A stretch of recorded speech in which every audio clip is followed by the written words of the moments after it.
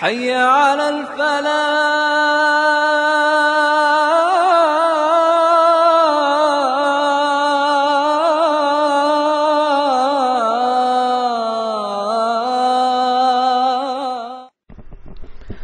بسم الله الرحمن الرحيم سؤال رسول الله صلى الله عليه وسلم حديث تيجي لا عدوى ولا طيرة كسلك يوق شلقي shug'ullanish yo'q degan so'zlari va bunga qarshi bo'lgan yana bir so'z. Firro minal majzum kama tafirru minal asad. Mahovdan qochgin xuddiki sherdan qochganingdek qochgin degan hadis. Bu ikki hadislar sahihmi va qanday jamlanadi? Bu ikki hadis sahih bu ikki hadis sahih buxoriyda kelgan va ikki hadis hattoki bir hadisda kelgan. Abu hurayra roziyallohu anhudan imom buxoriy buni kitobi tibda rivoyat qilgan. La adva va la tira.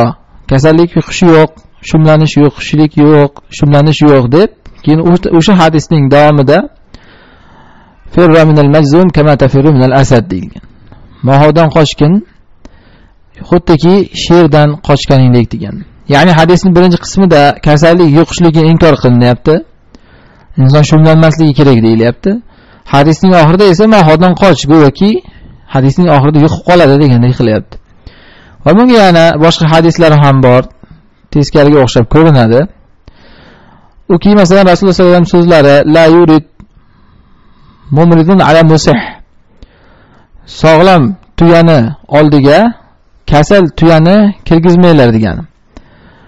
Va bundan boshqa hadis yana.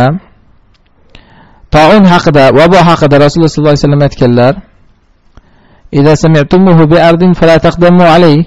agar bir yerda vabo tarqalganligini eshitsanglar u yerga qadam bosmanglar agar bir yerda tarqalganligini eshitsanglar sizlar o'sha joyda bo'lsanglar u yerdan qochib chiqmanglar deganlar bu hadislarda o'rtasi qanday jamlanadi hammasi sahih hadislar bu hadislarda o'rtasini jamlashlikda eng yaxshi yo'l asli kasallik yuqmaydi chunki rasululloh yuqoridagi so'zlarida la adva deganda arab tilida adva kalimasi annakra fi siyaqi nafyi taummu deyiladi.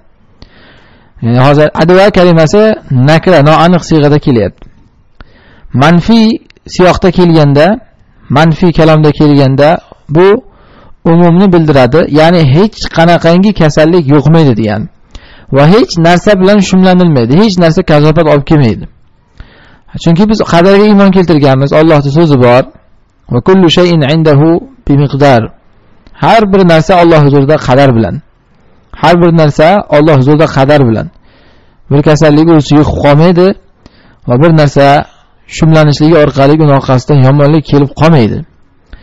Mana bu narsada rasululloh sollallohu alayhi vasallam insonlarga allohga bog'lanishni o'rgatganlar. Inson ya'ni u kasallikdan qochishni o'rniga kasallik yiqib qolar ekan deb o'zini o'zi ehtiyotini olib shunda haddan oshiq darajada ehtiyotni olib yuborib shu kasallikni bandasi bo'lib qolmaslikni o'rniga allohga suyanishni o'rgatganlar. Hozir banda insonlar ya'ni o'sha kasallikni quli bo'lib qoladi. Ya'ni hamma g'ami shu kasallik yuqmasin degan narsa bo'lib qoladi. Ana johiliyatdan qolgan nizom johiliyatdan qolgan e'tiqod. Odamlarda shunaqa e'tiqod borda kasalga teginsang yuqib qoladi. Kasalga teginsang o'tib qoladi degan shuning uchun hamma undan saqlangan va shunda g'uluv ketilgan odamlarni tashvishi g'ami shu bo'lib qolgan. Ana shu e'tiqodni yo'qotish uchun aytganlar bu gapni yo'qmaydi kasallik. Kasallik yo'qmaydi. Alloh taolo beradi kasallikni. Shuning uchun ham shu hadisni eshitganda bir arobiy rasululloh sollallohu alayhi vasallamdan so'ragan go'yoki bu yani voqelikka teskariku? deganday qilib so'ragan. Rasulullohga aytganki ana menda tuyalar bo'ladi. Sog'lom tuyalar ularni biriga kasal teganda qolgan hammasi shunga o'xshab kasallanib qoladi. Unda nimaga ular kasallanyapti degan. Ya'ni go'yoki aytganki yo'qyapti mana voqelik bunga guvoh bo'ladi deganda rasululloh sollallohu alayhi vasallamda aytganlarki faman a'dal avvala unda birinchi tuyani kasalini kim yuqtiribdi deganlar. Mana bu yerda ishora bo'ldiki kasallik yuqmaydi agar yuqqanda bu birinchi tuyaga ham qayerdandir kelgan bo'lishi kerak edi. Birinchi tuya hech joydan kasallikni olmadi olloh huzuridan tushdi. Kasallikni olloh tushiradi. Hadisda rasululloh sollallohu alayhi vasallam aytganlaridek tadavvu ibadalloh fa innalloha lam yunzil da'an illa anzala laha dawaan. Alloh qanday dardni tushirgan bo'lsa davosini ham tushirgan deganlar bunda ishora bo'ldiki kasallikni Alloh tushiradi osmondan. Alloh o'zi huzuridan tushiradi. Hech qaysi kasallik boshqaga yuqmaydi. Chunki agar kasallik yuqqanda dunyodagi eng kasal insonlar tabiblar bo'lishi kerak edi. Hamma kasallarga o'shalar oldida doktorxonadagilar masalan hamma kasallar shularni oldida. Agar kasallik yuqqanda eng kasal insonlar o'sha bo'lishi kerak edi. Ha endi u mahoni ko'rganida sherni ko'rgandek qilib qochgin deganda esa insonlar gohida allohga suyana olmaydi. Ya'ni bir mahoni oldiga borib mahovligi unga yuqib qolsa yoki haligi vabo tarqagan yerda yurgan paytida unga vabo yuqib qolsa insonlarga birdan rasulullohni so'zi haqida shak kirib qoladi. Ya'ni kasallik yuqishi yo'q degandi men shunga ishonib yurgandim endi kasallik tiyib qoldi yuqib qoldi mana demak u nima yolg'onmikan degan shak kirib qoladi. Ana shu rasululloh sollallohu alayhi vasallamni so'zlariga shak kirmasligi uchun qoch borma u yerga degan. U Alloh qadar qilib senga o'sha joyda kasallik tushirsa yo'qsa emas kasallik tushirsa olloh olloh bog'lab qo'yadi o'shada bir biriga yani o'ziga tushsa gohida o'ziga ham tushiradi kasallikni. Asli yuqmaydi. Lekin o'sha paytda endi inson johilligidan o'ylab qoladiki shu kasallik yo'qdi menga baribir deb mana bu iymoni zaiflik qilib qoladi. Rasululloh so'ziga shak qilib qoladi. Mana shu shak holatiga tushib qolmasliging uchun borma degan maho tarqalgan yerga yoki vabo tarqalgan yerda yurmagin degan. Aslida inson lekin allohga bog'lana olsa hamma narsani ollohdan deb bilsa mana bu narsada hech qanday hojat yo'q kasallikdan qochib ehtiyot bo'lib yotishlikka. Hadislarda kelgan rasululloh sollallohu alayhi vasallamni oldiga bir mahov kelgan. Keyin rasululloh ovqat yeyotganlarida oldilarida o'tirganida rasululloh sollallohu alayhi vasallam uni qo'lidan ushlab o'zlari yeyotgan taomni yedirganlar. Ya'ni bu bilan ishora qilganlarki mana mahov bilan bir tovoqda ovqat yeyapman mahov bo'lib qolmadim ya'ni uni mahovi yo'qib qolmadi menga degani yoki boshqa bir hadisda ya'ni allohga kuchlik tavakkuldan kelib chiqadi alloh taologa kuchlik tavakkal qilganligidan Allohga suyanganligidan kelib chiqadi Rasululloh sallallohu alayhi vasallam deb yo'qmaydi deb Allohga tavakkal qilib suyanolganlar. Yana boshqa Xolid Validdan asar kelgan. Xolid Validni qo'liga zahar tutqizishgan. Ya'ni ma'lumki aslida zahar insonni o'ldiradi. Shunda Xolid ibn Valid qo'liga zahar tutqizishganda insonlar aytganki, agar shu zaharni ichib bersang iymon keltiramiz degan. Xolid ibn Valid shunda ulardan ahd misoq olgan. haqiqatda shu zaharni ichib bersam iymon keltirasizlarmi degan ha deganda bismillah deb bir kosa zaharni ko'tarib ichib yuborgan asli zahar mana o'ldiradi odamni lekin Xolid ibn Validni o'ldirmadi hech narsa qilmadi nimaga desa chunki e, yuqorida aytganimizdek kullu shayin indahu bi miqdar hamma narsa Alloh huzurida qadar bilan qadarda yo'qmi inson o'lmaydi. Qadarda yo'qmi? Inson kasal bo'lmaydi. Hattoki kasallik bo'lgan taqdirda ham qadar bilan bo'ladi. Kasallik yuqqan taqdirda yuqqani bilan emas. Hattoki zahar ichib o'lgan taqdirda ham qadar bilan bo'ladi. Zahar uni o'ldirmaydi. Zahar uni o'ldirmaydi. Inson lekin o'zini qilgan e'tiqodidan va o'zini qilgan sababidan so'raladi.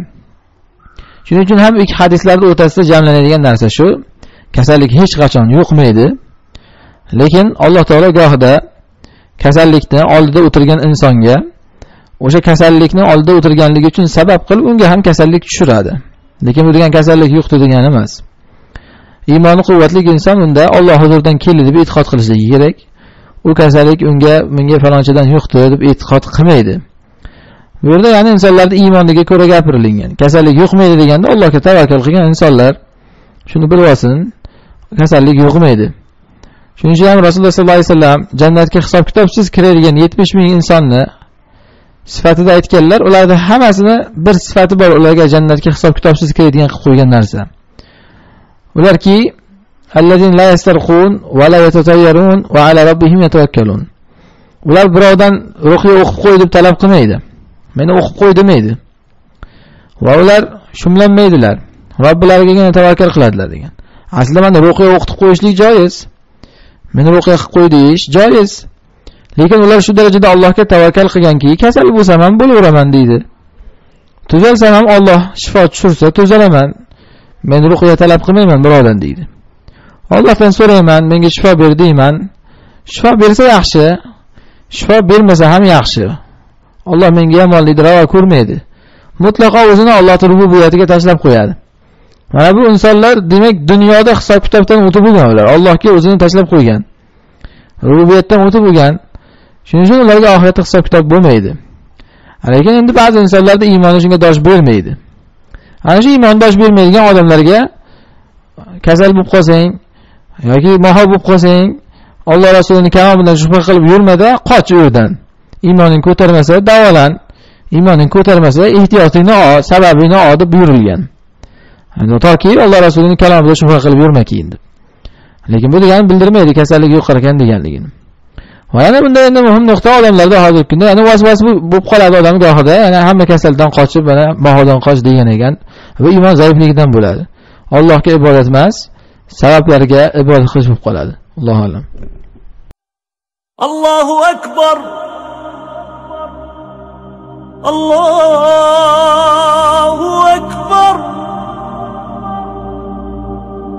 الله أكبر الله.